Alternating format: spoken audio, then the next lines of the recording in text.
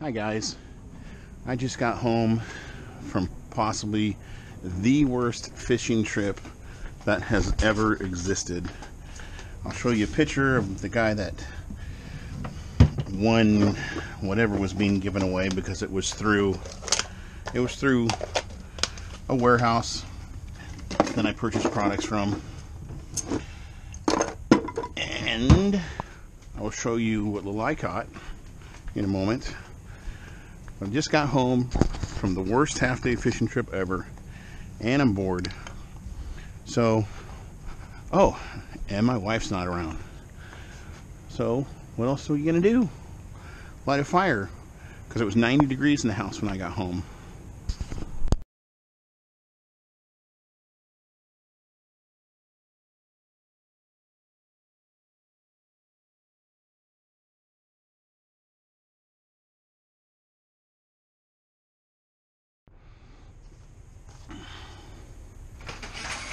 It's also my first video with the GoPro mounted on my head. I have no idea how much you'll be able to see or even what's being seen right now.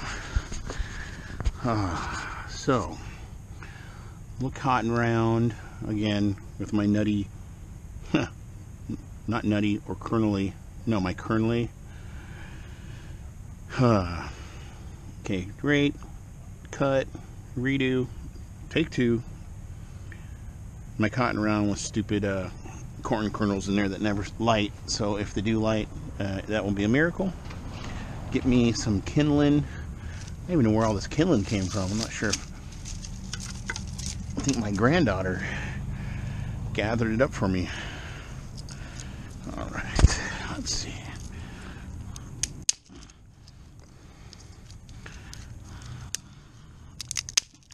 Again, I have no idea where this thing is looking.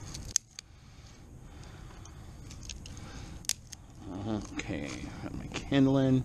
May not even take the time to write light real wood. My fireplace is a mess, but everybody throws their yard stuff in here. And I'm not really looking for, look at that, caught in the spider web. I'm not looking for feather sticks from my fat wood. It's just that fat wood burns so well. Going from one level of the fire to the next it's always super helpful. Boy, this is so dry. I mean, yeah, I know my knife got sharpened recently and I haven't used it that much. Maybe it's just the knife, but it feels like the fat wood is like completely dried out like it's just old pine wood now. Alright, so hoping the camera's in the right direction. As I learned on my other videos, my experimentation is that it's no use even trying to light a cotton round if you haven't exposed some cotton, even though the thing's been soaked in wax. I was watching some of my own videos last night and I thought they were funny eh, before. Now I'm like, why would anybody watch those? What I did notice is how bad I was at striking the ferro rod.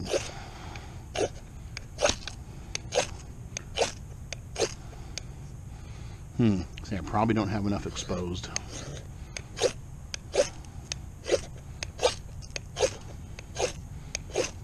Okay it's definitely taken too long. Cotton lights faster than this. So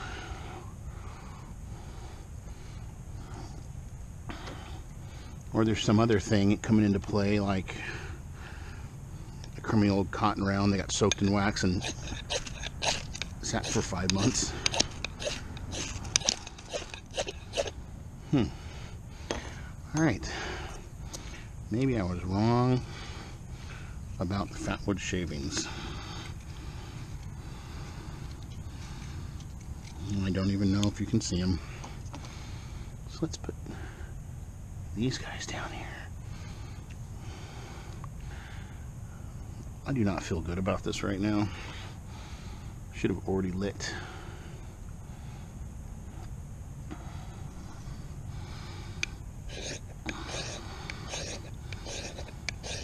Ferro dust on there to really give it something to light.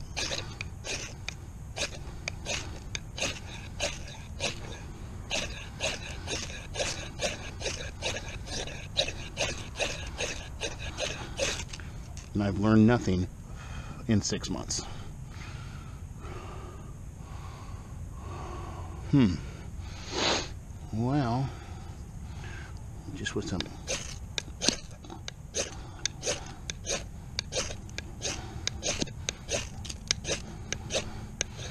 you see those nice sparks coming from ferro dust that I've already put down.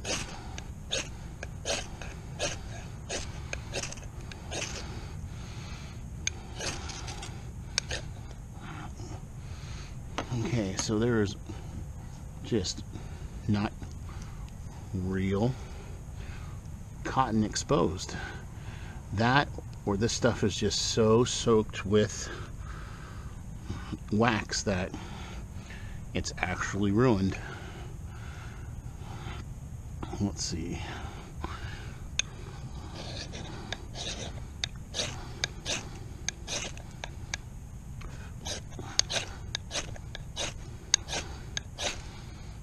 You know I am going to do? I'm going to make a nice real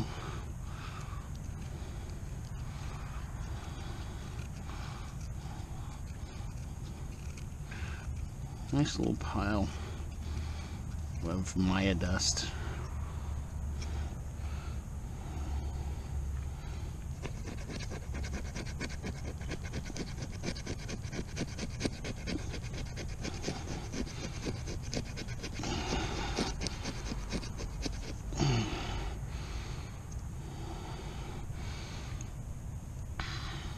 with some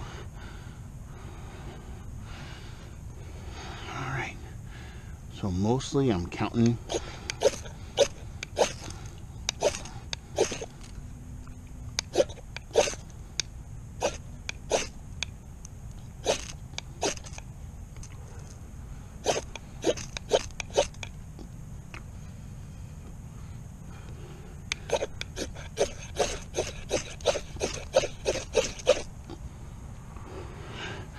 Well, this is one crappy little cotton round. It's like 85 degrees out, 85 degree humidity. And I'm messing around out here. Okay, so ferro dust in the end. Oh, no, no, no, no. Maya dust. If you watch my old videos, I was struggling because I couldn't remember what it was called. And I'm probably not even landing it where I need to be. Oh, but that's to be that's to be the money. Now it's getting everywhere because I'm in a hurry. I may be over 49, but I still come from a generation of instant gratification. Okay.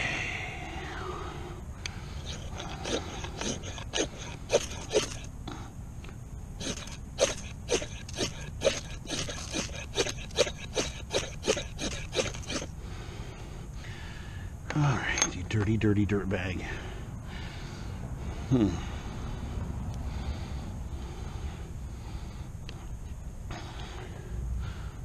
Time for something else.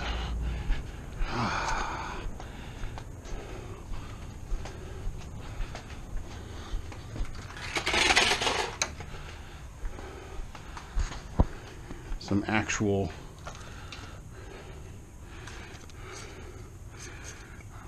these are cotton rounds that Stevie G, Steve Ganem of Bushcrafter 1973 gave me a while back. I think he was definitely better at making them. And uh, I think mine have just too much wax. There's like no cotton left or no no know easy to get to cotton that's not absolutely permeated with. Look you can even see the little dots.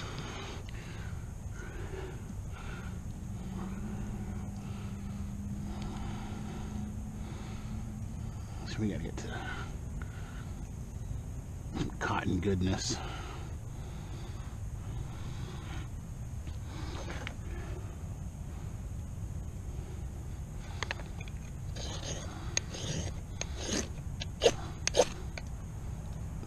Come on now. See what I'm talking about?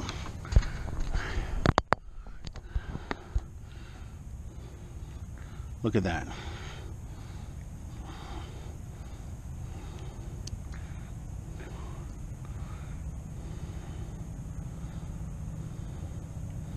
I mean, it's now it's going to probably burn like a wick.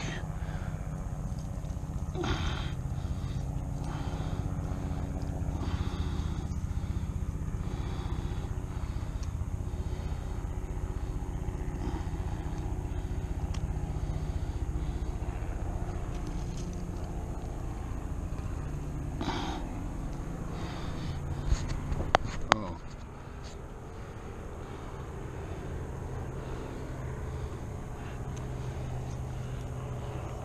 Wow.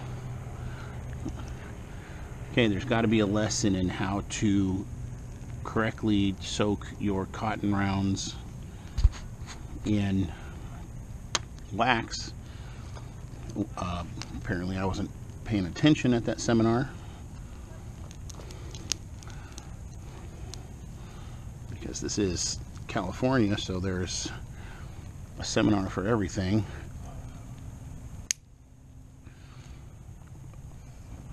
Probably seminars on how to walk your dog. And if there are, please don't tell me about them. You know, one of the reasons why the fishing trip was so bad today was since San Diegans decided to, uh, I want to use the word screw over Mrs. Scripps, who gave the uh, children's pool to children, and now it's all full of seals. There were so many seals off of there when we were fishing today. They basically ate all my bait. I mean, every. I mean, I'll show the pictures of the half-eaten bait, or that's what you saw earlier, because it should already have been up. So, this guy went home hungry. No fish for my wife or for me, but the seals are stuffed right now. Okay. I think this is all I'm going to do. I'm to come back and see what the cotton rounds are doing in a while. Because it's really was supposed to be more about the cotton rounds, but you know, look at the you can see the one. You can see both of them. Look at that. He's, he's just wow, look at that. Put some wax on here.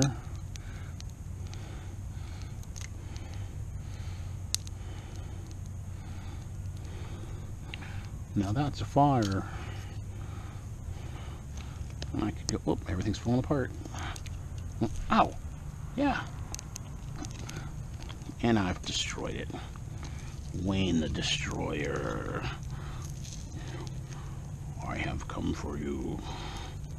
I will destroy your fire. Oh, hold on. Wait, wait, wait, wait, wait, wait. We have, we have, we have popcorn. Oh my God. We have, okay. We have our first popcorn kernel ever parped. Parped. We also speak in Ozark here. Um, first kernel ever popped from Wacky Wayne's world of uh, cotton rounds that don't work. That was hilarious.